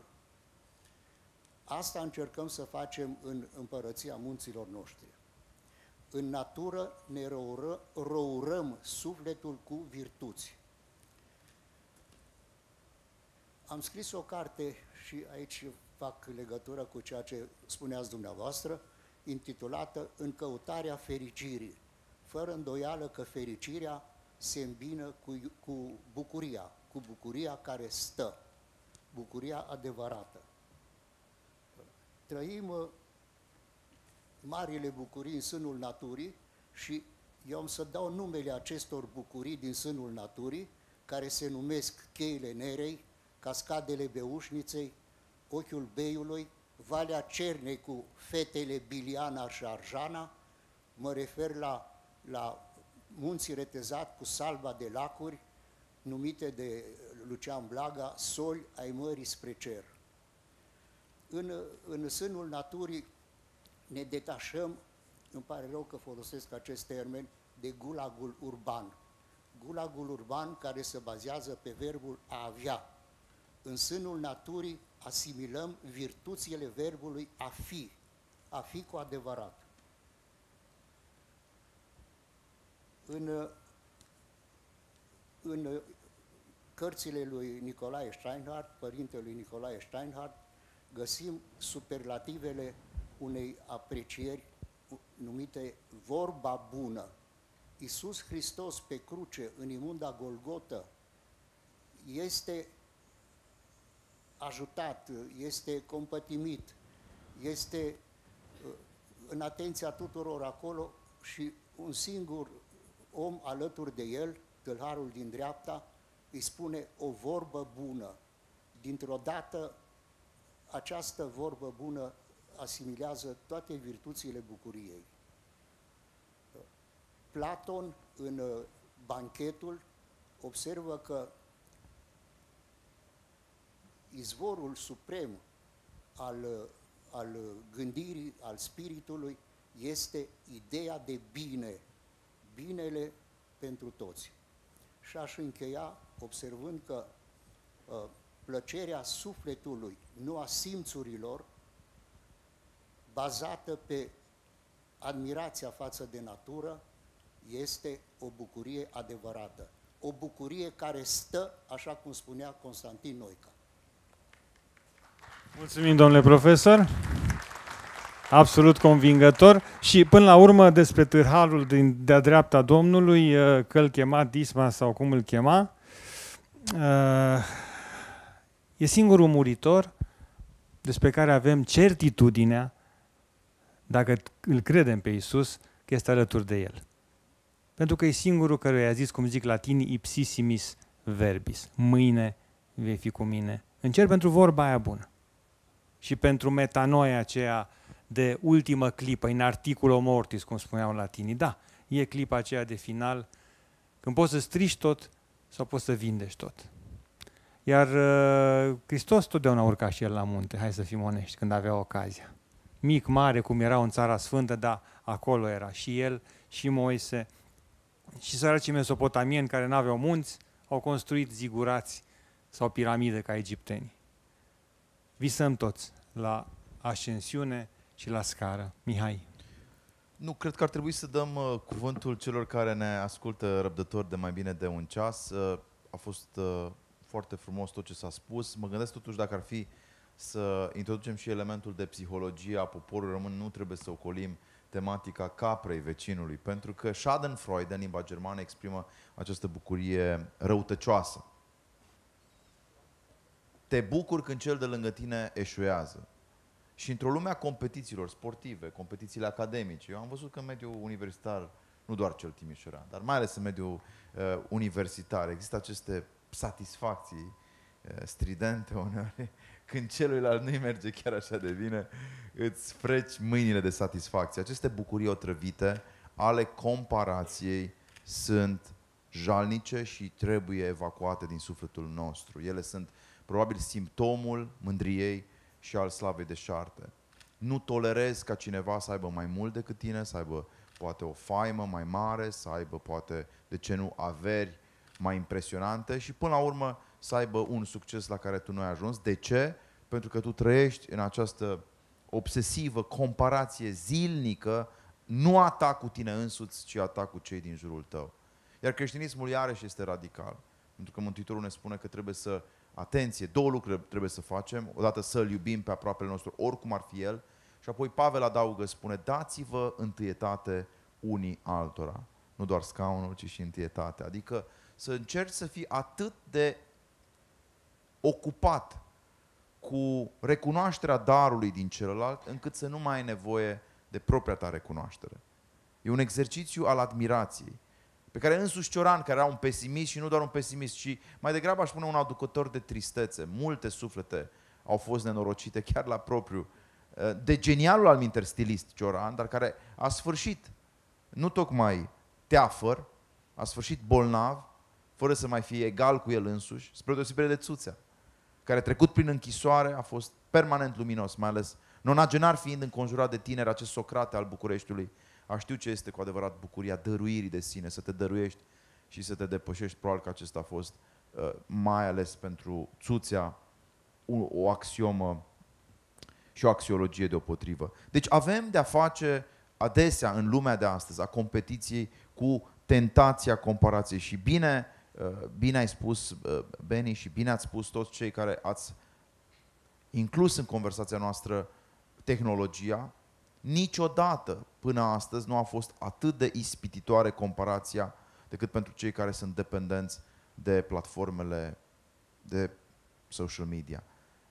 Și studiile, m-am întâlnit la Londra acum trei săptămâni cu Jonathan Hyde, acolo unde era și profesorul uh, Jordan Peterson și s-a discutat foarte, foarte serios despre aceste studii recente de psihologie și de fiziologie, care arată că pentru prima oară în America, în, în, în țara abundenței, în țara prosperității, tinerele, tinere, mai ales fetele, nu știu, nu știu de ce ele sunt extrem de vulnerabile, tinerele de 13, 14, 15 ani au ales suicidul ca răspuns la această angoasă care rezultă din comparație. Și mă gândesc că aici, iarăși, creștinismul și stoicismul ar putea să fie pentru noi un răspuns la această, la această tentație. Să fii tu însuți, pe de-o parte, să te cunoști pe tine însuți, dar și să-ți asumi limitele. Părintele Teofil, pe care l-am pomenit tocmai a doua oară, iată acum, îmi spunea când aveam răgazul să merg la psihăstria lui, de fapt, nu? Sâmbăta de sus. Mihai, viața nu se trăiește prin comparație. Și a fi creștin, adăuga, e mai greu decât să fii intelectual. Să nu trăiești viața prin comparație este un lucru extrem de dificil. Și noi facem acest păcat și în plan social și politic. Gândiți-vă de câte ori nu am justificat plecarea noastră din țară pentru că noi nu suntem românii, noi așa, la nivelul Germaniei. Pentru că noi nu suntem la nivelul Marii Britanii. Pentru că noi nu suntem la nivelul Franței. Până la urmă, istoric și uh, strict cultural, dragi prieteni, gândiți-vă cât de ineptă este această comparație. Cum să compari o țară care a avut 500 de ani de a face cu Imperiul Otoman, care trebuie să respingă atacurile barbare nu venite din Asia, cu țări precum Marea Britanie. Cum să faci acest uh, elementar uh, exercițiu de eroare, îmi vine să spun, de confuzie uh, intelectuală atunci când uh, originile noastre culturale și istorice sunt atât de diferite de cele ale occidentalilor pe care îi privim cu multă admirație. Și răspunsul este probabil acesta, din incultură facem aceste comparații, din lipsa noastră de adecvare și primul exercițiu de inteligență ar trebui să fie adecvarea la obiect. Greșim încurajându-i pe cei foarte tineri să părăsească țara. Veneam spre uh, orașul dumneavoastră atât de frumos și ascultam radio România Cultural și din nou și din nou tineri de 17-18 ani la întrebarea ce te vezi făcând, răspundeau mă văd plecând. Mă văd plecând din România, mă văd plecând din țara mea. Mă văd plecând de lângă părinți și de lângă bunici, de lângă mormintele lor, de lângă, sigur, munților și adesea de lângă bisericile lor. Și această, această dorință noastră de a fi mereu ducăuși, pe fugă, exprimă o instabilitate structurală. Ar trebui să știm mai bine cine suntem și să începem să ne bucurăm de darurile primite. Ar trebui să fim mult mai recunoscători. Și bucuria este, de fapt, un răspuns dat acestui dar al vieții. Dacă ești bucuros, înseamnă că ai înțeles ce ai primit. Viața însăși, care e nemeritată. Niciunul dintre noi nu am făcut ceva anume să ne naștem și totuși am primit darul ființei. Și darul acesta ar trebui să primească, spuneam, în inimile noastre un ecou pe măsură și acest ecou nu poate fi decât gratitudinea. O cultură a gratitudinii, o cultură a bucuriei care să evacueze odată pentru totdeauna acest delir al comparațiilor improprii. Aceasta este ceea ce îmi doresc și mi-aș dori ca românii să fie mai bucuroși de țara lor, să fie mai bucuroși de moștenirea lor, să fie mai bucuroși de ceea ce au primit de la înaintași. Nu-i chiar puțin lucru în anul maniu. Lăsați-mă să spun asta.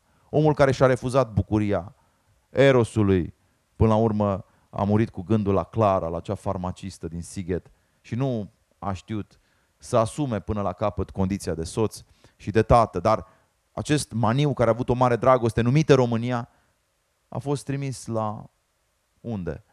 La pieire în 1953, acum 70 de ani. Și a fost cel care a reprezentat generația Marii Uniri. A fost cel care a luptat împotriva comuniștilor la Viena. De ce? Pentru că avea un crez, un crez creștin-democrat. Și el este pentru generația noastră, a celor care au crescut la conștiința aceasta istorică românească după Revoluție, un asemenea exemplu. Când ai o țară cu un maniu care a fost deopotrivă antinazist și anticomunist, care a știut să fie de partea evreilor atunci când erau persecutați, dar și de partea românilor atunci când erau bolșevizați. Un asemenea personaj ar trebui să primească uh, recunoașterea universală. Un asemenea personaj ar trebui să ne inspire.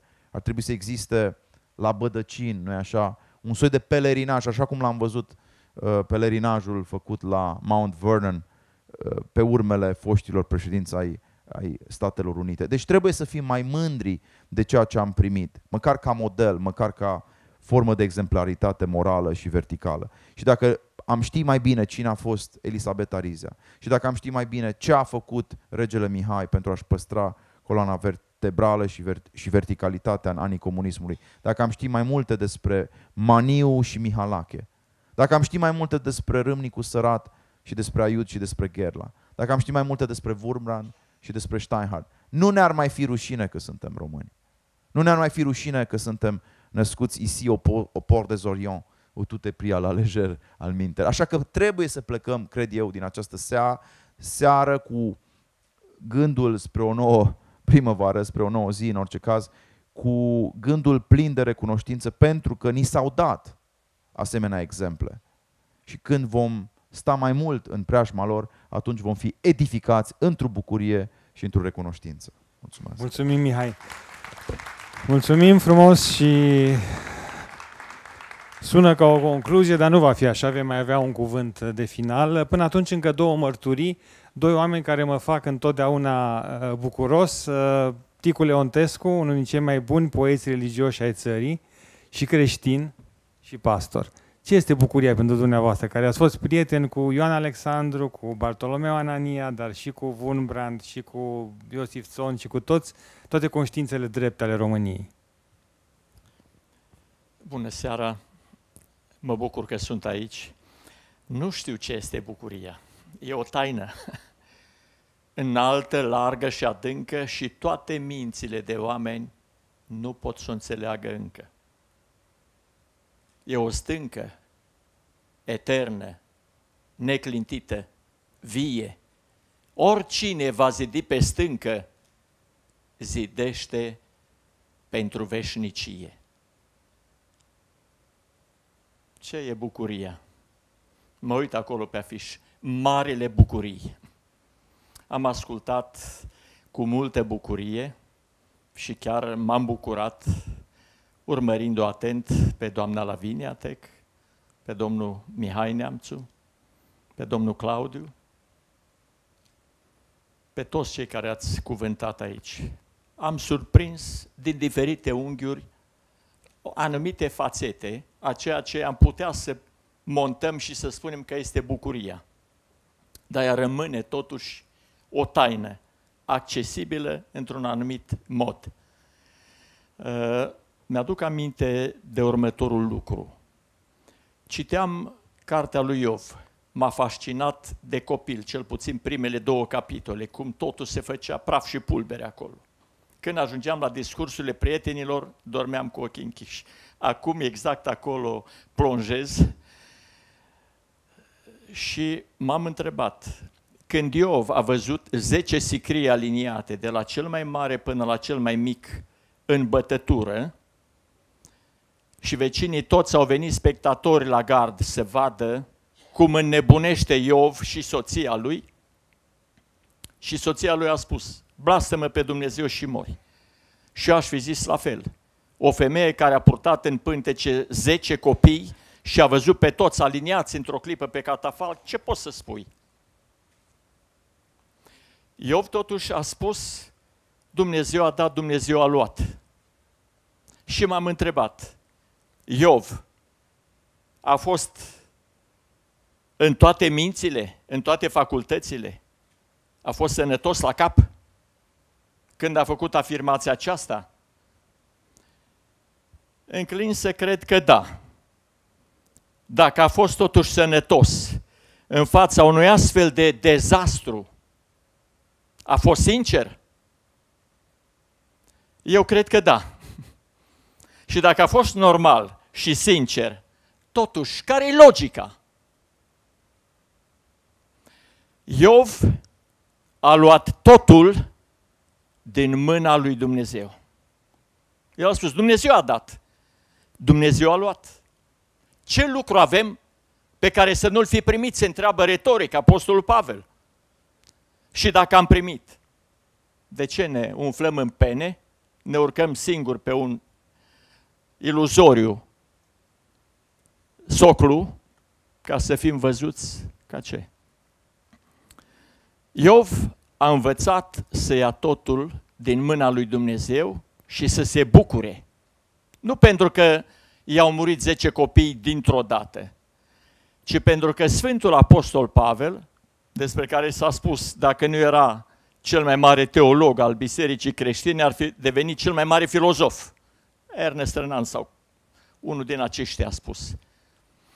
Și Pavel a spus, doamna Lavinia, și confirmăm, nu putem altfel, bucurați-vă întotdeauna. E un prezent continuu. Bucurați-vă, iarăși zic, bucurați-vă. Este un imperativ. Bucurați-vă chiar și în necaz. Când înțelegem în profunzime uh, lecțiile pe care ni le transmite destinul și Dumnezeu prin aceste necazuri, unde ne modelează, atunci ne bucurăm. Iosif, vândut de frații săi, în final a luat totul din mâna lui Dumnezeu. Voi ați vrut, v-ați băgat mâinile până la coate, să mă lucrați pe la spate. Dar Dumnezeu a transformat răutatea voastră într-o binecuvântare pentru mine și prin mine pentru voi. Iosif a luat totul din mâna lui Dumnezeu. Ar fi nebunit, s-ar fi sinucis. David, când a fost urmărit, l-a trădat fiul său, pletosul Absalom, să ia tronul. Ahitofel l-a trădat și mei îl blestema. Fugea desculț și plângea un împărat, dar un om al lui Dumnezeu. Și un, o gardă de corp a spus, mă duc să-l rezolv pe acest câine mort și mei. Și David a spus nu. Cine știe dacă nu cumva Dumnezeu i-a spus, du-te și blastă-mă pe David. Când învățăm să luăm totul ca din mâna lui Dumnezeu, suntem într-un confort lăuntric, foarte bine accentuat uh, doamna Lavinia, indiferent de seismele din jur. Totul este din lăuntrul nostru. M-am uitat la Walt Disney. A creat Disneyland-ul. Ce lume frumoasă pentru copii. Mereu mă simt copil când văd. Uh, alba ca zăpada și cei șapte pitici. Ce frumos! Fiecare om, în ceea ce spune într-o carte, într-o operă de artă, într-un film, dă în afară, întoarce pe dos sau arată în văzul tuturor ceea ce este în lăuntrul lui. Frumusețea de acolo. Și totul vine din Dumnezeu. Citind Biblia, mergem indiferent la ce biserică mergem. Dacă citim Biblia, este perspectiva din care trebuie să învățăm să privim toate lucrurile în viața aceasta. Și de fapt perspectiva contează bucuria este o necesitate, o nevoie majoră, așa, bucuria este de asemenea o poruncă și de asemenea bucuria este ceva ce trebuie să cultivăm în fiecare zi. Este o alegere. Eu aleg să mă bucur. Asta nu vine așa de la sine. Trebuie să înțelegem acest deziderat, acest confort, această normalitate și să decidem, indiferent de împrejurări, să ne bucurăm. Dragostea nu se bucură de rău, se bucură de adevăr. Bucuria și dragostea și celelalte virtuți merg împreună. Și omul lui Dumnezeu, profetul Habacuc, cu aceasta închei, spunea, chiar dacă nu va înflori smochinul, chiar dacă vița nu va mai da struguri, chiar dacă nu vor mai fi viței în grajduri, tot mă voi bucura în Domnul Dumnezeul mântuirii mele. Adică condiția supremă a bucuriei este confortul meu cu Dumnezeu, mai mult sau mai puțin material. Și pentru că vin sărbătorile, mari bucurii. Iată, de 1 decembrie, haide domnule să ne bucurăm. A fost un moment astral, acum 100 și ceva de ani, ca românii să se unească. Și acum să fie uimiți de ceea ce s-a întâmplat atunci. E foarte interesant. Apoi să ne gândim în 17 decembrie. A fost ziua în care, pornind de la Timișoara, a căzut o rândurie aceea crudă și nedreaptă. Da? Când am plâns de bucurie în centrul Timișoarei și plâng și acum în biserică. Să sărbătorim aceasta, este o mare bucurie. Apoi vine uh, Crăciunul, nașterea Domnului, o oră astrală pentru omenire, cum spune Ștefan Zweig. Extraordinar. Dar mai ales în fiecare zi. Bucurați-vă întotdeauna de lucruri mici, apoi și de cele mari. Dumnezeu să toarne prin Duhul în omul nostru lăuntric cu prisosință bucuria, marile bucurii. Doamne ajută! Mulțumesc! Doamne ajută! Și o ultimă mărturie a unei doamne alese a culturii și a spiritualității noastre, doamna Manolita, o frază Manolita, de ce copii, de ce literatură, de ce ești atât de iubită? Așa o seară minunată să încercăm să o păstrăm și mă gândeam la un moment dat dacă am sta nemâncați și neieșiți de aici, din acest spațiu extraordinar, am rezistat și am povestit și ne-am, ne-am desfășurat bucuria de a împărtăși niște, niște trăiri extraordinare. Este verbul pe care îl iubesc eu foarte mult din limba franceză, partager, a împărtăși în sensul cel mai frumos toate sentimentele și toate trăirile.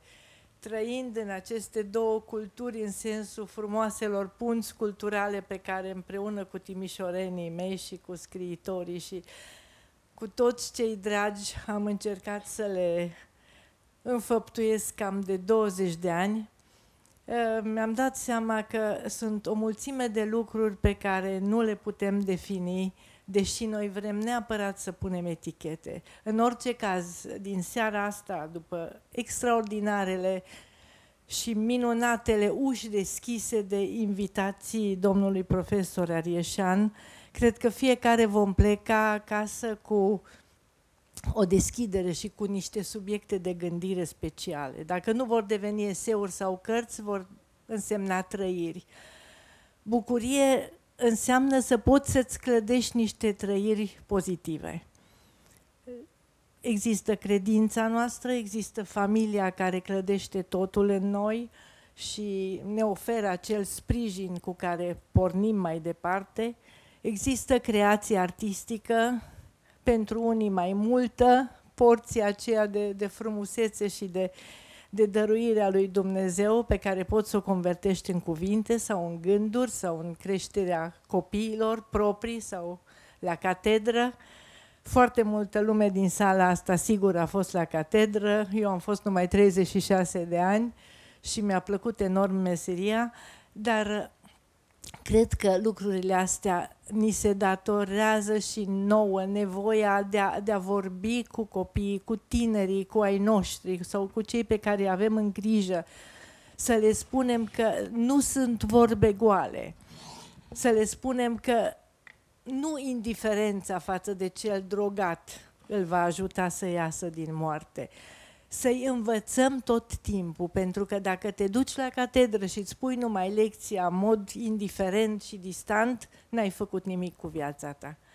Dacă îi antrenezi pe copii, cum a făcut domnul părinte, indiferent de confesiune, cum fac călugării, cum face părintele Necula, să învețe pe tineri prin exemplu propriu, prin trăirile pe care le-au avut de-a lungul vieții ce să vă spun, un lucru foarte frumos pe mine mă călăuzește și de foarte mulți ani, ceea ce n-a spus un român, deși românii au spus lucruri minunate, Jean Cocteau a spus că poezia și cultura este un spațiu în care nimeni nu concurează pe nimeni. Și asta ar fi trebuit și trebuie să ne stea în față celor care scriem, celor care facem ceva în viața asta pentru semenii noștri, pentru cei din jur, pentru familie, lucruri care înfierează invidia și răutatea Și dacă fiecare va elimina puțin din viața lui, din aceste trăsături urâte, cred că viața poate deveni mai frumoasă și mai luminoasă. Așa sper, cel puțin. Vreau să vă spun un singur lucru care pe mine m-a frapat. Noi avem doi nepoți minunați. Cel mare nu are 9 ani. Vreau să vă spun că vizita cu școala la expoziția Brâncuș a pus o amprentă pe care eu nici în 100 de ani nu mi-aș fi închipuit că se poate. A venit acasă transfigurat. A văzut operele lui Brâncuș. Zic, ce ai simțit? Bucurie. Mulțumim, Manolita. Uh, Eu ați văzut că am renunțat la lecturile mele obișnuite, am renunțat și la concluziile mele de dragul invitaților care sunt Timișoara adevărată, frumoasă și profundă și pe care vreau să o regăsească și Mihai alături de noi. Aveți, uh, dragii mei, câte minute vreți, 5-7 pentru concluzii. Uh, Concluzia mea va fi ca de obicei, la asta n-am renunțat una muzicală, ca să plecăm uh, pe aripi de vis ca totdeauna. Lavinia, te rog. E o bucurie, a fost o bucurie a începutului acestei întâlniri și e și o bucurie a sfârșitului, acum ascultând-o pe uh, ultima invitată. Și mai o bucurie la care vă provoc să vă gândiți. Unii spun că este prea mai îndepărtată, pentru alții poate să fie mai apropiată. O bucurie despre care nu s-a discutat. Bucuria sfârșitului alergării. Apropo de ideologia morții, și cum să faci față sfârșitului. Te bucuri de viața pe care ai trăit-o, de ce lași tu în urma ta? Nu o să lași titluri, nu o să lași diplome, o să lași vorbe, trăiri, experiențe, ce ai sădit în ceilalți, în cei de lângă tine, ce am sădit în comunitate, apropo de comunitatea în care noi suntem acum, și uh, ca o binecuvântare să vă bucurați întotdeauna. Cred că asta este ca un moto al întâlnirii noastre, să ne bucurăm, să ne cultivăm aceast, acest gând, să ne însuflețească mereu. Vă mulțumesc! Hairete, cum ziceau grecii, până la urmă și Sfânta Fecioară așa era, așa era uh, salutată. Latinii mai pragmatici au zis Ave Maria, așa cum se salutau și împărații și așa, dar grecii mai aproape de esență au zis Bucură-te, haire. Da? Mihai, te rugăm. A- Aș vrea să folosesc uh, aceste ultime minute pentru a spune cât de frumoasă este o prietenie care mă leagă de Claudiu de mai bine de 20 de ani. Uh, Claudiu a avut generozitatea să întâmpine prima mea carte, Bufnița din dărâmături, scrisă în anii studenției și tipărită la editura Anastasia în 2005. Și aceste bucurii care dăinuiesc, mi se pare extraordinare. Tot ceea ce e adevărat dăinuiesc, spunea Goethe, și cred că e o probă a dragostei și, bineînțeles, e o probă a jertfelniciei să îți pui la bătaie reputația de dragul unui prieten. Și uneori, uh, într-o lume a calomniilor, într-o lume în care se spun versiuni uscate despre unii și despre alții, când îți aperi prietenul, public chiar, uh, înseamnă că dăruiești uh, din suflet dragoste și uh, bucurie. Sunt uh, de asemenea motivat să vă spun să nu plecați de aici fără o carte. Cadourile cele mai frumoase acum, înaintea, înaintea Crăciunului, sunt cărțile și cartea asta a lui Claudiu, uite, Claudiu a plecat, să nu cumva să fie rușinat de laudele mele. Istoria comicului românesc este o carte fundamentală, este o carte esențială și am spus, dați-mi voie să citez din această recomandare, nasc și la noi hăruiți, oameni hăruiți cu darul bunătății inteligente și al ospitalității abrahamice. Așa îl știu pe Claudiu Arieșan, mintos, nevoie mare, dar și cu o inimă largă de plin cuprinzătoare. Poliglot până la intimidare, Claudiu știe 12 limbi, însă niciodată supritor prin știința de carte. Acest om care e precis și exigent, spumos și energic, convingător și atașant, ca latinist, înlesnește accesul nostru al învățăceilor spre izvoarele de nemurire ale culturii europene. Ca istoric al comicului românesc, profesorul Arieșan deosebește spiritul superior al lui Socrate, Rabelais sau Kierkegaard de bufonori- bufoneria agramată și vulgară a comedianților de duzină. Nu pot imagina un taifas pentru minte, suflet și inimă, stropit cu arome oenologice și cu elemente de răsfăț culinar, în absența unui om de plin al Banatului Cultural, Claudiu T. Arieșan, așa că acestea sunt gândurile mele în ceea ce îl privește. Aplauze pentru Claudiu și pentru tot ceea ce face. Pentru, pentru că sunt într-un fel cel vinovat de apariția clubului Marile Cărți, care s-a născut aici la Timișoara, aș vrea să spun că acest club are filiale peste tot în lume și mi-am luat totuși uh, această îndrăzneală de a spune public că în sală avem un membru al Clubului Marile Cărți din Seattle, domnul doctor, uh, dacă pot să uh, uh, îmi permit să te prezint, uh, Eugen Melcescu este cu noi aici și poate se ridică și îl aplaudăm pentru că s-a repatriat după foarte mulți ani, după 15 ani.